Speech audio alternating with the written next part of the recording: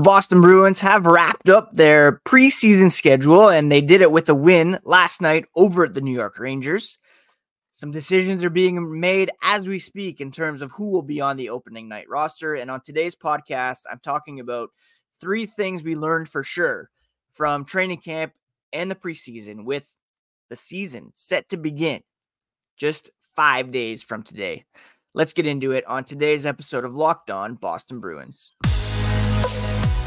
Your Locked On Bruins, your daily podcast on the Boston Bruins, part of the Locked On Podcast Network, your team every day.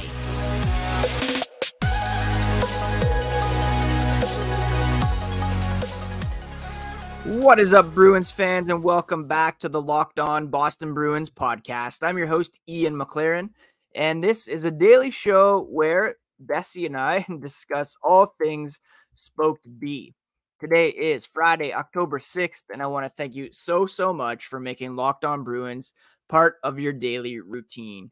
Free and available on your favorite podcast app, on YouTube. We are part of the Locked On Podcast Network, your favorite team every single day. And on today's podcast, like I mentioned off the top, we're going to be discussing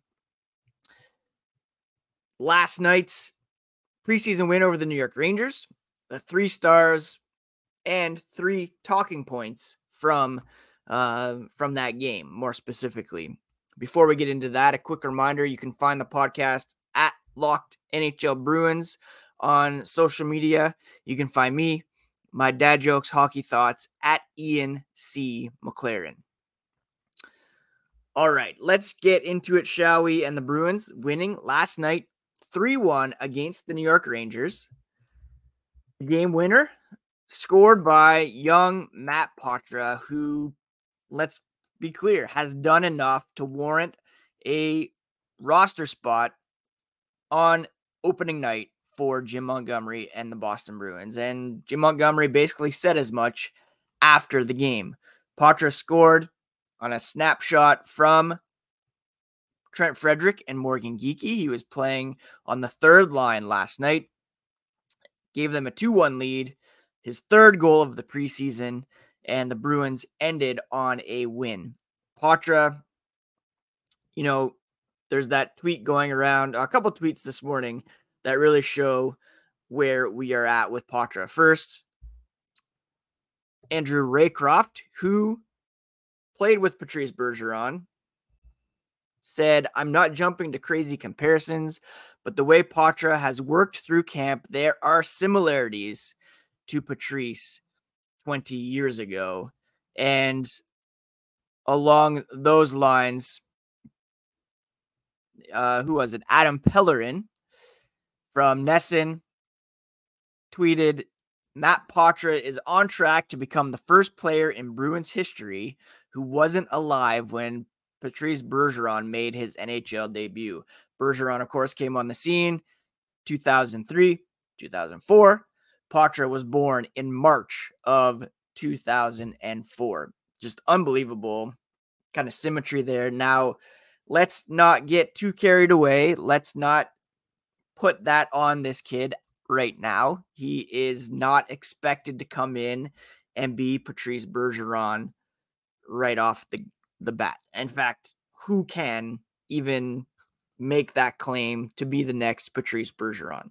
Nobody until we actually see it happen. However, 19 years old, came into Bruins training camp intent on at least causing Bruins coaching staff and management to consider him for the opening night lineup to make a case for inclusion on the Bruins roster to begin the season. And he's done that with flying colors. He's come in. You know, I watched him a lot last year here in Guelph. His season last year got off to a rough start. He had a couple suspensions due to slew foot incidents. Um, the Storm last season had high expectations coming in, made some trades, really uh, were forced to regroup and they lost their coach, Scott Walker, who uh, had to step back because of health issues. a lot of turmoil. And then once things settled in, of course, he took off and posted unreal numbers. Now, if there's one knock against him, it is his lack of uh, shooting. And looking at the Bruins um, individually, he certainly needs to up his um, shooting to get more pucks on net. And we'll talk about that as a team here uh, later on in the podcast. But that's one thing. But when he has got the puck on net, obviously it has been effective because he scored three goals in five uh, preseason games for the Boston Bruins. So he's certainly warranted a spot on the roster. We'll see if it is a nine game look or if he is with the Bruins past that nine game mark and they burn a year off his entry level contract. John Beecher, I think, has done enough to warrant inclusion in the roster to be the fourth line center. AJ Greer made an impact last night. Um, he's kind of a bubble guy for me. But when it comes to some of these younger guys making impressions, it's certainly Poitras, Beecher, and Mason Lohrei as well. I think he has done enough to be on the team. And we'll talk more later on about the third pairing and who's going to play there. But Lohrei certainly belongs in that conversation. Just going back to Poitras, when it comes to shot attempts, he only had four in the three games, or sorry, in the five games that he played for the Bruins in the um in the preseason. That's at five on five. Two goals on four shot attempts at five on five. Uh, is that sustainable? Likely not. He'll need to get more pucks on net with more regularity to keep that scoring going, of course. But his face-off ability, his vision, his passing, high level IQ, and uh, he should be on the team to begin the season. Let's tap the brakes on the Bergeron comparisons, but certainly Poitras should be in the lineup uh, for opening night, and we'll see whether or not you know there's still waiver considerations. There's um, whether or not they want to burn his entry level contract. But if you want to put the best team possible out there at this moment, Poitras has to be on the roster. And I stay the same for John Beecher as the fourth line center.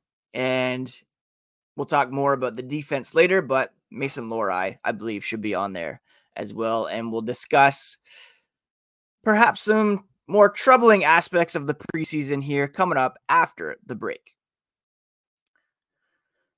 I've got a couple pair of bird dog shorts and a pair of bird dogs pants, and I can't tell you enough about how well they fit. They're way better than regular shorts and sweatpants that are made of stiff, restricting cotton. And they have this cloud knit fabric that looks just like khaki but stretches so you get a way slimmer fit without having to sacrifice movement. They also use anti stink sweat wicking fabric that keeps you cool and dry all day long. They're functional for any occasion, whether it's a golf outing, date night, evening out, sitting by the pool, working out, lounging, even during work hours if you're still working from home. Go to birddogs.com slash locked on NHL and enter promo code locked on NHL at checkout for a free Bird Dogs water bottle with your order. That's birddogs.com slash locked on NHL for a free water bottle at checkout. You won't want to take your bird dogs off. I promise you, they are so, so comfortable. Thank you once again for making Locked On Bruins part of your day, free and available on your favorite podcast app and YouTube. On Monday's episode, we'll be back with all the latest in terms of training camp cuts and the opening night roster and start to take a look at Wednesday night's season opener against the Chicago Blackhawks. Now, if there's one cause for concern for the Boston Bruins during the preseason is a distinct lack of shots. Even in the win last night, they were outshot by the New York Rangers. And at present, at five on five, they have the worst shot a shot differential in NHL preseason play. They've taken 88 shots, five on five. They've allowed 141 for a shot differential of 38.4%. Not great. Goals, they're being outscored 10 to 8 at 5 on 5. If we kick that up to all strengths, let's see if there's any improvement in their shot differential. Bruins, third from the bottom at 41.98, 136 shots for, 188 allowed. Still not great. Third from the bottom. And I talked about how Matt Poitras individually, you know, five on five, two shot, no, three shots, two goals. That's a 66.67 shooting percentage. That's not going to continue. But as a whole, the Bruins haven't been getting the puck on net with great regularity. And that's something they're going to have to work on here as they prepare for opening night. Now, as training camp wraps up, we're going to see players cut. We're going to see the Bruins ramp up their practices with more regular lines. There's been a lot of mixing and matching. There's been a lot of um, experimentation with the lines. Of course, Poitras come in. Guys were expecting to play with one another didn't quite come together that way. But at the same time, it is the preseason. It shouldn't be that hard to get shots on net. So that's something that the Bruins are really going to have to work on. Of course, they lost Patrice Bergeron, they lost David Krejci, Taylor Hall scored a beauty last night for the Chicago Blackhawks. Tyler Bertuzzi's a Toronto Maple Leaf. There's so much offense that was lost from this team based on the playoff roster. And that's going to be have to be made up by committee. You know, James Van Riemsdyk's going to have to pop in some goals. Morgan Geekie is going to have to step up. Trent Frederic, they're going to need that depth scoring. A lot of attention will be placed on David Pastrnak, a lot of attention will be put on Brad Marchand, Jake DeBrusk. So some other guys are going to have to step up, get pucks on net if the Bruins are going to be competitive this season.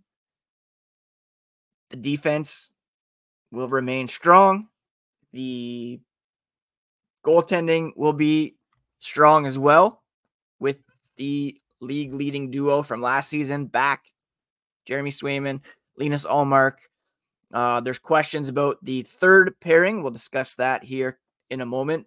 But if there's anything that's super concerning about the Bruins in the preseason, it is certainly that. Again, even in that win last night, they were outshot uh, um, 16 10. They only had 10 5 on. Oh, sorry, that's high no, yeah, that's shots. 16 to 10. Bruins had 10 shots, five on five last night. 22, uh, oh, only 15 altogether. They were outshot 23 15 by the Rangers. Still got the win, but um, yeah, the Bruins going to need to get more pucks on net to be successful in the regular season. They're also going to need their defensive pairings to step up. And we're going to discuss another talking point from last night, which is who is going to play on the third pairing coming up this season. Indeed is the hiring platform where you can attract, interview, and hire all in one place. You don't need to spend hours on multiple job sites looking for candidates with the right skills when you can do it all with Indeed. Find top talent fast with Indeed's suite of powerful hiring tools like Indeed Instant Match, assessments, and virtual interviews. If you hate waiting, Indeed's US data shows over 80% of Indeed employers find quality candidates whose resumes on Indeed match their job description the moment they sponsor a job. Indeed knows when you're growing your own business, you have to make every dollar count. That's why with Indeed, you only pay for quality applications that match your must-have job requirements. Visit indeed.com slash locked on to start hiring now.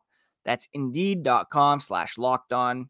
Terms and conditions do apply. There's a cost per application pricing that's not available for everyone. But if you need to hire, you need Indeed. Indeed.com slash locked on. All right, let's wrap up with a quick discussion about the defensive pairings and who will be representing the Boston Bruins on the blue line come opening night. If I had my way, it would not include Derek Forbort. I think he has just looked so slow out there. And granted, he's only played 28 minutes, 52 seconds over uh, two preseason games. However, it's apparent that the Bruins can kill penalties without him. A lot of people argue, well, they need him for the penalty kill. Last season, it was just as even more successful with him out of the lineup, February and in March, than it was with him in the lineup. And if it were me, I would be placing Derek Forbort on waivers and promoting Mason Lohrei to the main team. Now you can say Lohrei's too young, he needs some time in the pros to get acclimated in Providence. I say fooey to that. He's 22 years old. He yeah, I said it, fooey. Um and I don't want him in the lineup come opening night. Yes, he's making $3 million. It's not super easy to bury that money. But at the same time, if you want to put the best possible product on the ice, it can't include Derek Forbort. Um, at this time, anyways. I don't know if he's dealing with something, but I mean, he made this clearing attempt last night from the corner went right to a Ranger player and set up a chance. That can't happen. Um, you got to be smarter than that. You got to be quicker with the puck, smarter with the puck.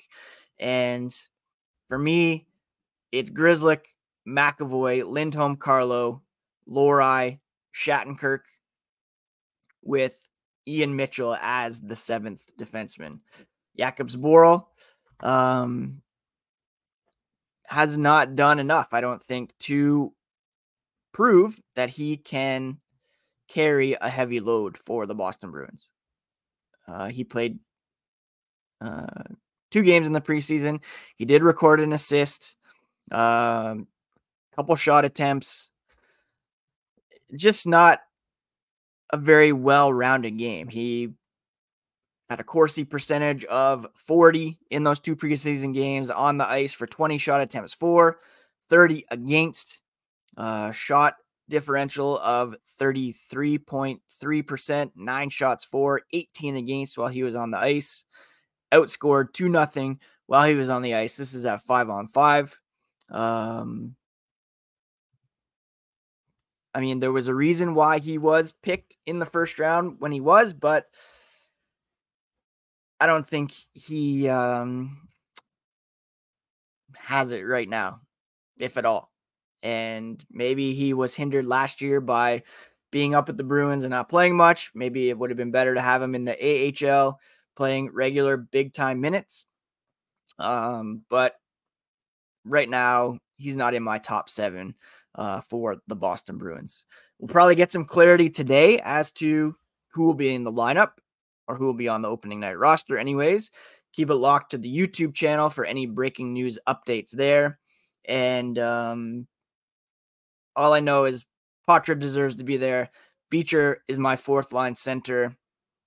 I liked what I've seen from Jesper Boqvist. I think Danton Heinen deserves a contract. uh, where that leaves the likes of Patrick Brown, AJ Greer, Oskar Steen, likely assigned to Providence. And um, I made that point on Twitter yesterday. Like many of you said, no big loss. You do have to account for like organizational depth. And I do think that will be a consideration with Poitras, but at the end of the day, he belongs on the roster. I don't think the Guelph Storm anticipated that. They're in action tonight. I'm sure they were thinking he'd probably be back by the end of Bruins training camp, but it looks like he could be in Boston through Halloween at the very least as they give him that nine game look and see what happens. His shooting percentage very inflated, but um, he has done enough elsewhere to show that he has has it at the moment to to represent the Bruins on opening night against Connor Bedard of all players. Anyways, that's it for today's episode, my friends. Thank you so much for joining me this week. Please have a great weekend. Happy Thanksgiving to my Canadian friends. And we'll talk to you again here Monday on a brand new episode of Locked On Boston Bruins, your favorite team every single day.